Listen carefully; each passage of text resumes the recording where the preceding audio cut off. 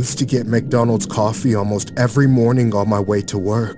However, something recently happened to me that might be the end of me being able to ever enjoy a cup of coffee again. Like any normal day, I went through the drive through of my local McDonald's and got my usual order before going to the office. But on that day, something about that cup of coffee was just off. It was still drinkable, but it was more bitter than usual and had a bit of a rancidness to it. I figured the coffee was expired and the bad taste could be covered up by some cream or sugar, and so I went back to the drive through and grabbed a few of them. I really thought everything would be fine after that, but to my disappointment, the coffee still didn't taste right. Each sip was like choking down piss or sewage water. It was that bad. I started to feel like I was becoming one of those people on the internet that got messed up after having the grimace shake. But all I was having was a cup of coffee. At first, I was just disgusted by the taste. But once I had enough of that stuff in me, my whole body started to reject what I drank.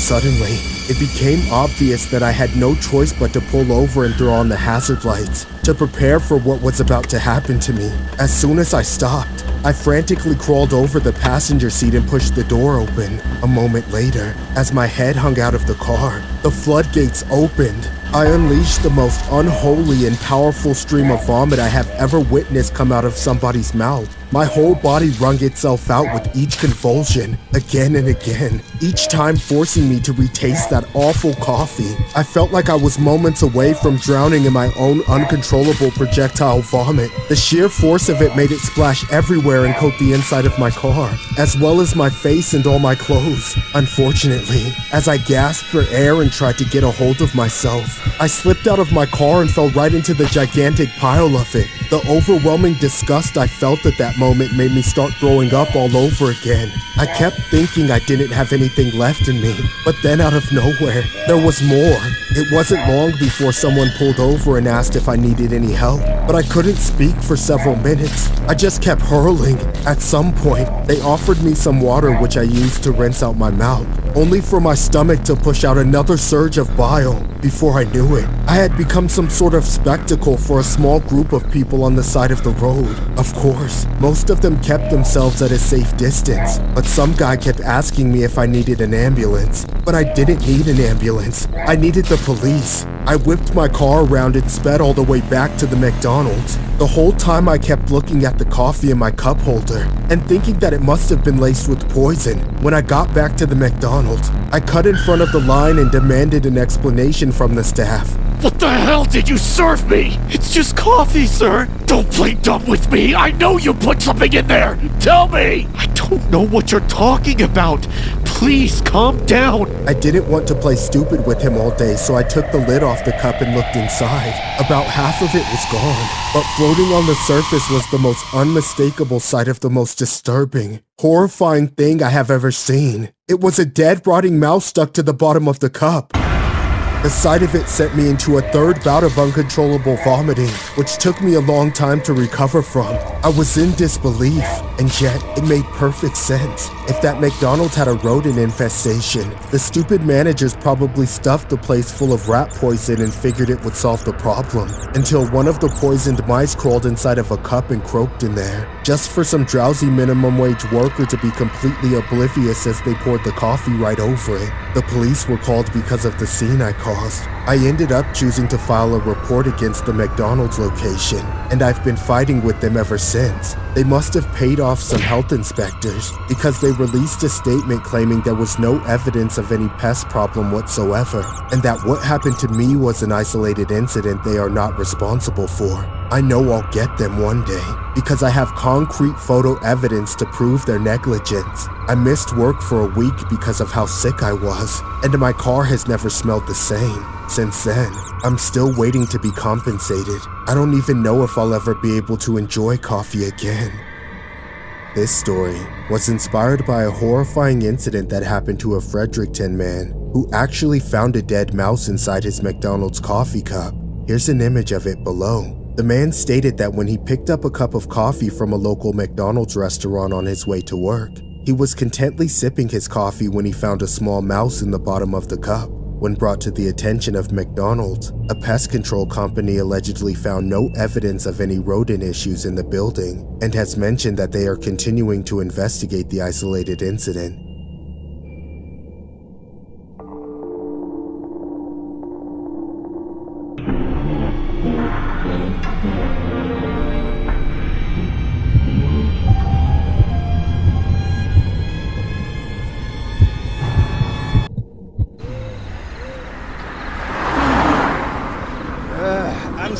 Hungry. Can someone please give me something to eat? Anyone? Go eat your life. Get a job, loser.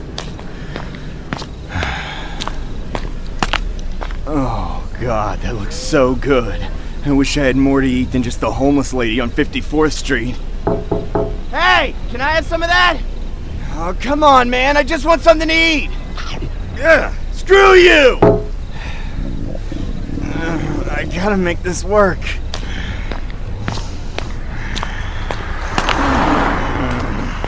Excuse me, sir. Could you help me out? Miss, could you spare some change? Please, sir. Can I have some more? Screw off. Spare change? Hey, can I have your leftovers? Pretty please? Uh, can anyone help a hobo out? Please, I haven't eaten anything since I divorced my wife. Hey! Shut up and get a job, you lazy bum! What the hell is your problem? Nobody wants to hear your jingling pennies and your stupid cup! Everybody just loves to kick somebody while they're down. You know, I like to be the person kicking for a change one of these days. Wouldn't that be nice?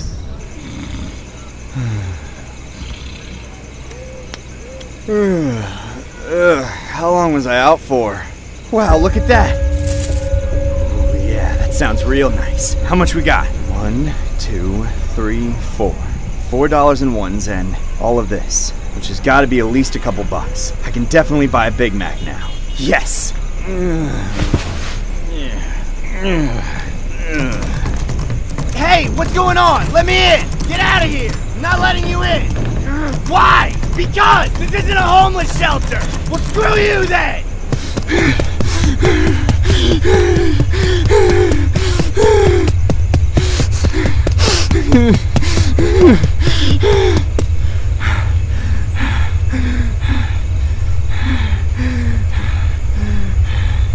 crap, where am I? I gotta stop getting spooked like that, it's gonna get me into trouble. Wait a second.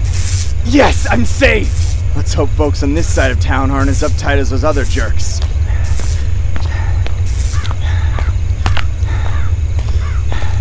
Come on, please be open. I know it's not that late. What the? Somebody is still in here, but what are the hours to this place? Well, that's not helpful. I guess if the door is unlocked, I can come on in.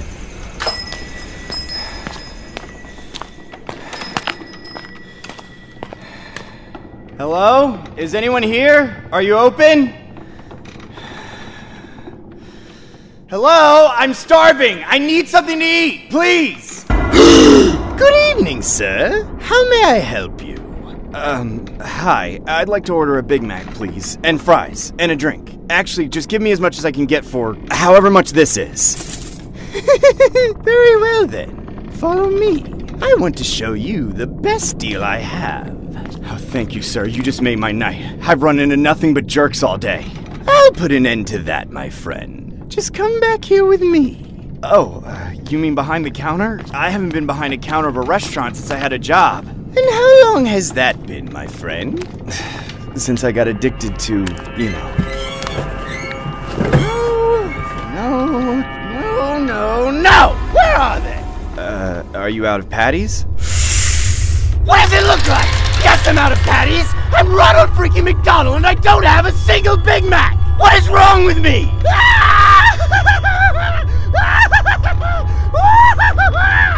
I'm loving it.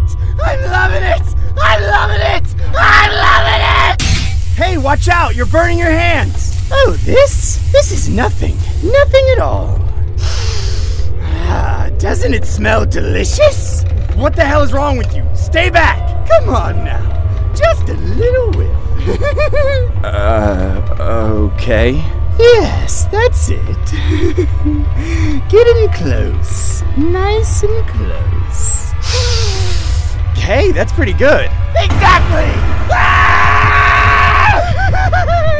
I'm gonna cook you alive! No! Please! Please let me go!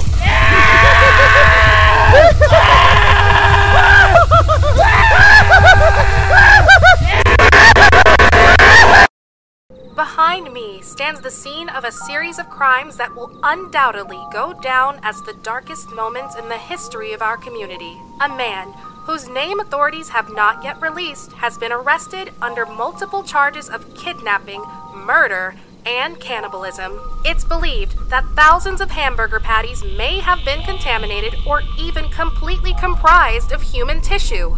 If you or someone you know has ever eaten at this establishment and fear you may have been affected, call the number on your screen now.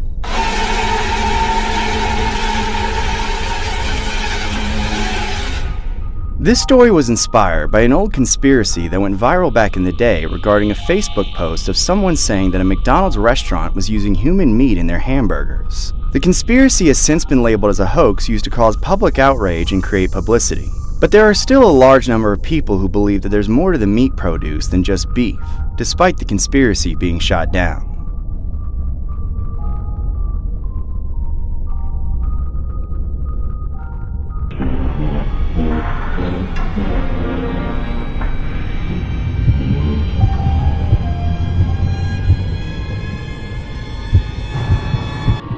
A few years ago, I lived in a small bungalow type house with one other guy in West Virginia. The place was kind of cramped for two people, but we made it work since neither of us had much money. We both worked at the same McDonald's back then, so we didn't make a lot. I had just recently moved out of my parents' place so that I could be closer to work. I worked the night shift full time, and my parents lived pretty far away from the McDonald's. I hated driving so far all of the time and I wanted less of a commute. My roommate happened to work the same shift as me too, so we were able to drive to work together most nights. It wasn't the best job, but I wasn't able to find anything else. Over the course of my stay there, mine and my roommate's diet pretty much only consisted of McDonald's. We'd get Big Macs, fries, nuggets, basically anything off of the menu and eat it for dinner. We got to bring free food home after every shift so we'd always gorge on it before we went to sleep. I felt disgusting only eating McDonald's all of the time, but that's what I had to do. I didn't really have time to go shopping and the McDonald's was free. Apart from having to eat the food all of the time, it wasn't such a bad experience working there. That is until later on when something disturbing started happening. Every time I went into work, I would find a bunch of druggies and junkies loitering around inside and outside the McDonald's. They would roll inside in gangs. Dozens of them would be there every night. The McDonald's became like a trap house. They would all buy cheap cups of coffee just to have a reason to stay. It became a big problem because they would make other customers very uncomfortable. I felt bad for them though, especially this one guy named Albert. He always seemed worse off than the rest of them in there. I would give him free fries sometimes when the managers weren't looking. I didn't want to kick any of them out. It was the middle of winter and cold as shit outside, which made it hard to do so without feeling guilt tripped about it. I had a bit of a soft spot for them because my brother had become homeless due to an addiction. It was a bad situation though. More and more of them kept coming every week. My roommate and the other employees on the shift started complaining to the boss about it. They said that they didn't feel safe working with all the junkies there. My boss said that we couldn't do much if they kept buying coffee. As long as they were paying customers, they had a right to be in the store. And at that time, the loitering laws weren't as strict. So every night, my roommate and I would go work at a McDonald's full of addicts, and then go home to pick out on our free food. We started to work so much that we barely had time to do anything else. The house became a total pigsty. McDonald's fries lay everywhere. Bags of half-eaten food were piled in the kitchen. It was a dump. I started to get tired of living in the mess. It was really getting to be disgusting. Flies were all over the place and the smell was awful. I complained to my roommate about it and told him that we had to clean up, but he just brushed me off. I kept asking him about it, but he told me that it was all my mess and refused to help. This went on for weeks. I tried to clean up what I could, but I never had the energy after working all night. There was no way for me to keep up with all the garbage from the McDonald's food. The stench became overwhelming and I got really depressed from it all. Finally, I decided that I couldn't take it anymore. I had to quit McDonald's, which of course meant that I couldn't afford to live on my own anymore. So I planned to move back out to my parents' place. Before I fully moved out, I cleaned up all of the trash and food that was everywhere. I didn't feel right leaving my roommate to deal with all of it, even though he didn't seem to care that much. When I finished cleaning everything, I noticed something strange. The house was still filled with a disgusting stench. It was like I hadn't even cleaned it. I went around the house trying to find where that smell could be coming from. Eventually, I realized that it was coming from the attic.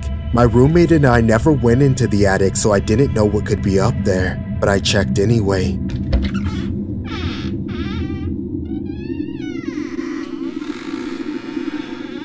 When I opened the door, I almost threw up from the stench that hit me. It was absolutely disgusting.